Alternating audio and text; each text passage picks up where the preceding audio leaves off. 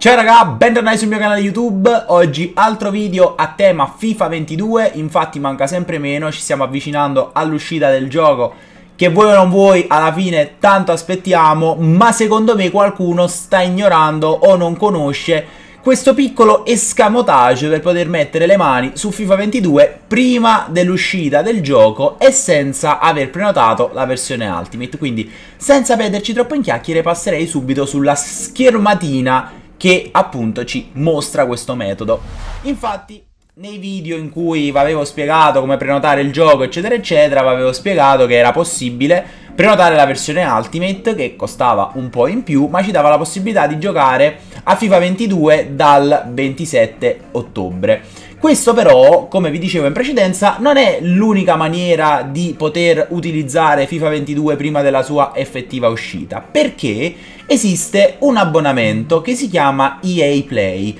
Questo abbonamento, che costa 3,99€, ci dà esattamente la possibilità di poter provare eh, non solo questo titolo di casa EA, ma anche altri prima della loro effettiva uscita per un periodo di prova. Periodo di prova che per quanto riguarda FIFA eh, e ovviamente in particolare FIFA 22 va sempre a eh, essere di 10 ore. Quest'anno però hanno introdotto la possibilità di poter provare il gioco per 10 ore sia su quella che è la versione PS5 sia su quella che è la versione PS4, quindi per un totale di 20 ore sempre allo stesso prezzo. L'abbonamento costa esattamente 3,99 euro e deve essere ovviamente attivo nel momento in cui eh, appunto viene rilasciata la versione di prova, versione di prova che eh, è schedulata per il 22 settembre e um, il timer delle 10 ore parte nel momento in cui voi lanciate l'applicazione. Quindi non avete 10 ore di gioco, 10 ore di partita, 10 ore di uh, spacchettamento. No, nel momento in cui voi avviate l'applicazione inizia a scalare uh, minuti dal vostro countdown. Difatti state molto bene attenti uh, a quanto tempo effettivamente avete utilizzato perché anche al sottoscritto è capitato che nel bel mezzo di una partita, boom, mi sono ritrovato sbattuto fuori con un bel messaggio a caratteri cubitali, hai terminato, uh, hai terminato le ore, quindi occhio, occhio soprattutto a non sprecare il tempo, perché 10 ore sono preziose, quindi il mio consiglio principale è quello di concentrare ehm, l'esperienza di gioco, quindi provate a fare qualche partita, non perdete troppo tempo magari a fare sbissi inutili, eh, non perdete troppo tempo ad aprire qualche pacchetto, per quello c'è sempre la web app.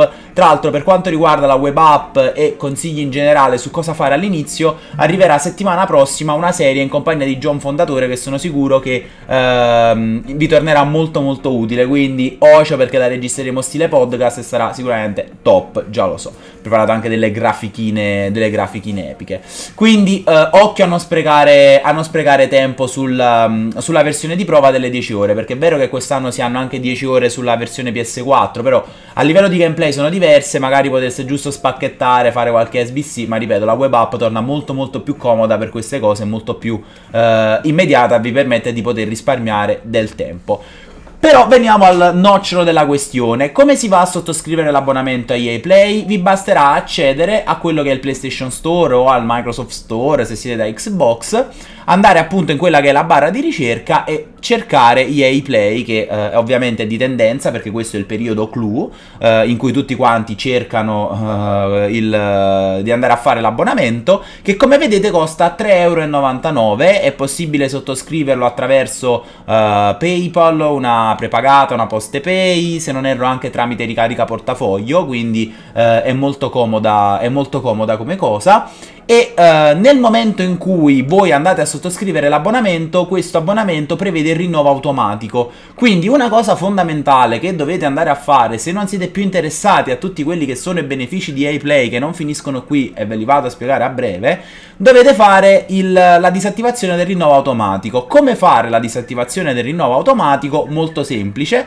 ehm, sia che siate su Xbox o che siate su PlayStation potete farlo anche direttamente da console. Vi basterà andare cliccare su quello che è il vostro sul vostro impostazioni dove avete la voce utenti account, andate su pagamento e abbonamenti, andate su abbonamenti, come potete vedere io ho il Plus e proprio EA Play e andate a cliccare su disattiva il rinnovo automatico. E direte, beh, allora lo facciamo tutti, ovviamente, di andare a disattivare il rinnovo automatico, però secondo me non è così banale, perché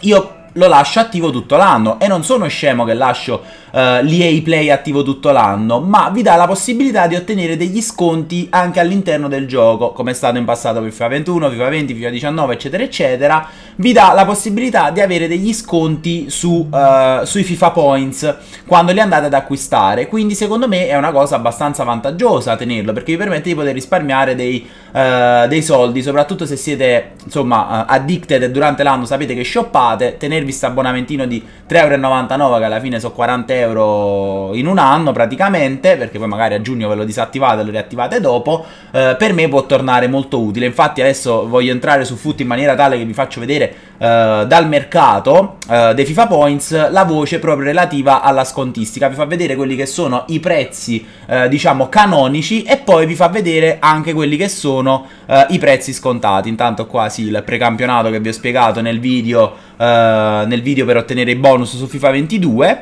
Quindi voi se andate sul negozio e uh, andate alla voce FIFA Points, vedete che avete un, uh, un piccolo sconto. Quindi ad esempio il pacchetto da 89,99€ costa da 99,99€ vi costerà 89,99€ quindi per me può uh, avere senso tenere l'EA Play attivo, uh, attivo tutto l'anno. Un'altra cosa che dovete tenere bene a mente nel momento in cui andate a uh, fare EA Play e andare a giocare la versione di prova delle 10 ore è di non spaventarvi nel momento in cui non vedete che avete, eh, non ricevete i bonus relativi ad esempio alla versione Ultimate, per cui 4600 FIFA Points, i One to Watch, tutte quelle cose lì, perché quelle sono previste per l'effettiva uscita del gioco, quindi le riceverete nel momento in cui se avete prenotato la versione Ultimate giocherete dal 27 o nel momento in cui entrate sul gioco il primo ottobre. Quelli lì quindi sono bonus per i quali dovrete aspettare eh, la vera uscita del gioco, perché questa, vi ripeto, è una sorta di anteprima, giusto per farci già assaggiare il gioco